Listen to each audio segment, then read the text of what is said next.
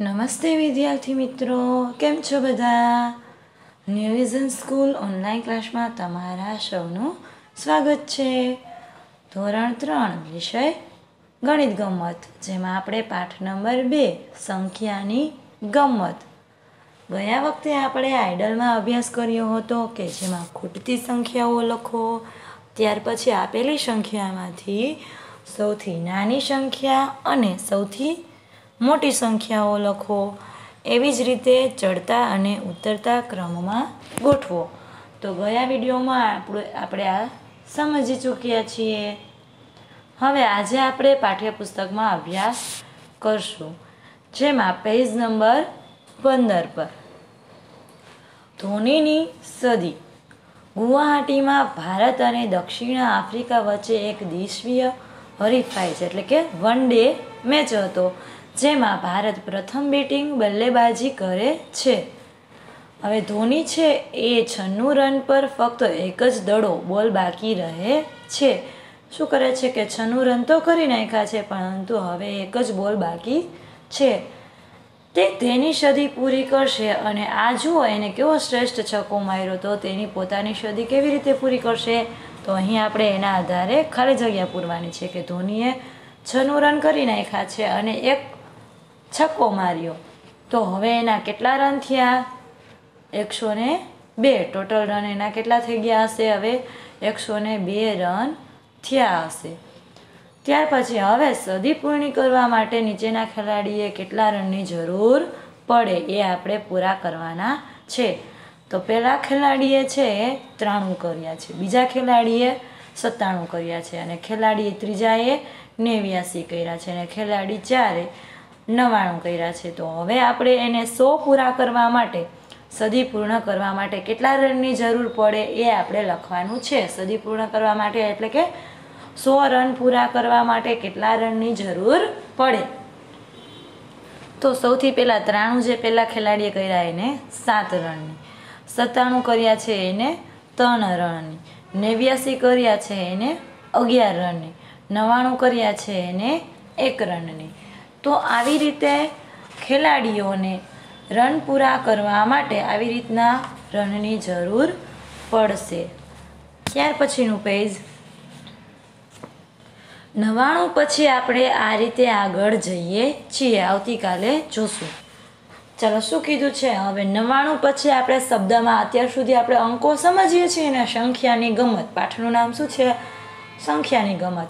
તો અત્યાર સુધી આપણે વિદ્યાર્થી મિત્રો ધોરણ પહેલામાં અને બીજામાં એકથી સો સુધીના જ શબ્દમાં સમજતા હતા કે એકને શબ્દમાં આપણે લખતા એક એવી રીતે નવ્વાણું અને છેલ્લે સો. તો હવે આપણે સો પછીના જે અંકો છે એને શબ્દમાં અને અંકમાં કઈ રીતે લખાય એનો અભ્યાસ કરવાનો છે. તો અહીં તમે જોઈ શકો છો કે ખાલી જગ્યા પૂરો. નવ્વાણુંથી એકસો ને બાર સુધી પહેલાં તમને આપેલા છે. સૌ પ્રથમ સંખ્યાને અંકમાં નવ્વાણું, સો, એકસો એક, એકસો બે, એકસો ત્રણ અને એકસો ચાર, પછી ખાલી જગ્યા. એકસો છ, એકસો સાત, પછી ખાલી જગ્યા. એકસો નવ, એકસો દસ અને એકસો ને અગિયાર. અને ત્યાર પછી ખાલી જગ્યા. હવે આ અંકોને આપણે શબ્દમાં કઈ રીતે લખાય એ સમજવાનું છે. તો સૌથી પહેલાં સંખ્યાને આ બાજુ અંકમાં અને આ બાજુ સંખ્યાને શબ્દમાં. તો નવ્વાણુંને આપણે લખશું નવાણું ત્યાર પછી સો ને સો. પછી એકસો એકને એકસો એક. અને જ્યારે એકસો બેમાં ખાલી જગ્યા તમને આપેલી છે. તો અહીંયા તમારે લખવાનું એકસો ને બે, આવી રીતે લખશો. એક સો બે. એકસો બેને શબ્દમાં આવી રીતે લખાય. ત્યાર પછી એકસો ત્રણ છે, આપને આપેલું જ છે કે એકસો ત્રણ. એકસો ને ચાર, એ પણ આપણને આપેલું છે. ત્યાર પછી આપને ખાલી જગ્યા આપી છે. અને સામે આપને આપી દીધું છે કે એકસો ને પાંચ. તો અહીં ખાલી જગ્યામાં આપણે આવી રીતે લખશું. એકસો પાંચને અંકમાં કઈ રીતે લખાય? તો આવી રીતે એક, પછી શૂન્ય, પછી પાંચ. એટલે કે આપણે એને બોલીએ એકસો ને પાંચ. જો સો પછી જેટલા અંક આવે છે, એમાં વચ્ચે આપણે શૂન્ય લગાવવાનું. એકસો ને એક એટલે કે એક શૂન્ય એક. એકસો ને બે એટલે એક શૂન્ય બે. એકસો ને ત્રણ એટલે કે એક શૂન્ય ત્રણ. એકસો ને ચાર એટલે કે એક શૂન્ય ચાર. હવે એકસો પાંચ જે આપણે લખવાનું છે એક જીરો પાંચ. ત્યાર પછી એકસો ને છ, એક જીરો છ, જેને શબ્દમાં એકસો ને છ. ત્યાર પછી એકસો ને સાત, જે આપણને લખેલું આપેલું નથી અને અહીંયા ખાલી જગ્યા આપી છે, તો આપણે એને લખશું એકસો ને સાત. એક સો સાત. આ રીતે તમે શબ્દમાં લખશો, એક જીરો સાતની સામે. ત્યાર પછી પાછી ખાલી જગ્યા. તો એ ખાલી જગ્યામાં આપણે એકસો ને આઠ લખવાનું છે. એકસો ને આઠ, એટલે કે એક જીરો આઠ. અહીં ખાલી જગ્યામાં તમે એ રીતે લખશો અને એની સામે તમને લખેલું આપેલું જ છે કે એકસો ને આઠ. ત્યાર પછી એકસો ને નવ, જેમાં એકસો નવ. ત્યાર પછી એકસો ને દસ, તો એકસો દસ. હવે એકસો ને અગિયાર એટલે કે એકસો અગિયાર. અને ત્યાર પછી ખાલી જગ્યા છે અને સામે ગુજરાતીમાં આપેલું છે કે એકસો બાર. તો અહીં આપણે અંકમાં એક એક, બે એટલે કે એકસો ને બાર થશે. હવે ત્યાર પછી સામેની બાજુ. અહીં તમને એકસો પંચાણુંથી બસો છ સુધી આપી દીધા છે. અહીં આપણે આગલા પેજમાં જોયું ને, એમાં તમને નવ્વાણુંથી એકસો બાર સુધીના અંકો આપેલા હતા અને સામે શબ્દોમાં જ્યાં જ્યાં ખાલી જગ્યા હોય એ ખાલી જગ્યા આપણે પૂરી કરવાની હતી. હવે અહીં તમને એકસો ને પંચાણુંથી બસો ને છ સુધી આપી દીધા છે. સૌથી પહેલાં સંખ્યાને અંકોમાં અને એની સામે સંખ્યાને શબ્દોમાં. તો તમે જુઓ, સૌથી પહેલાં એક, નવ, પાંચ. તો એને આપણે ગુજરાતી એટલે કે શબ્દોમાં શું કહીએ છીએ? એકસો ને પંચાણું. ત્યાર પછી અંકમાં આપણે આવી રીતે લખતા હોઈએ છીએ કે એક નવ પાંચ. ત્યાર પછી એક નવ છ, એટલે કે એને આપણે બોલીએ એકસો ને છન્નું, જેને ગુજરાતીમાં આવી રીતે લખાય એકસો ને છન્નું. ત્યાર પછી એક નવ સાત, એટલે કે એકસો ને સત્તાણું, જેને આપણે ગુજરાતીમાં લખીએ છીએ એકસો સત્તાણું. એકસો ને સત્તાણું. ત્યાર પછી એક નવ આઠ, એટલે કે એકસો ને અઠ્ઠાણું. તો એને ગુજરાતીમાં આપણે આવી રીતે લખીએ એકસો અઠ્ઠાણું. ત્યાર પછી તમને ખાલી જગ્યા આપી દીધી છે, એટલે કે એ ખાલી જગ્યામાં આપણે લખવાનું છે. શું લખશો? એમાં એકસો ને નવ્વાણું, એટલે કે એક નવ નવ. અહીં તમે એવી રીતે લખશો. જેને કહેવાય એકસો ને નવ્વાણું. ગુજરાતીમાં આપણે એને આવી રીતે બોલતા હોઈએ છીએ. ત્યાર પછી બગડો અને બે મીંડા. બગડો અને બે મીંડા એટલે એને આપણે શું કહેવાય? બસો. બે પછી બે જીરા. એક પછી બે જીરા હોય તો એને આપણે સો બોલીએ છીએ.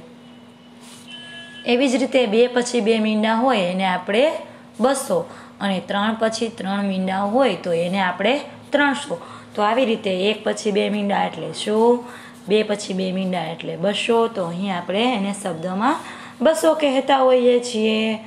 ત્યાર પછી બે ઝીરો એક, એટલે કે બસો ને એક. એને ગુજરાતીમાં આપણે બસો એક એવી રીતે લખવાનું. ત્યાર પછી બે જીરો બે, જેમાં આપણે ખાલી જગ્યા આપી દીધી છે, પણ આપણે અહીંયા લખવાનું છે.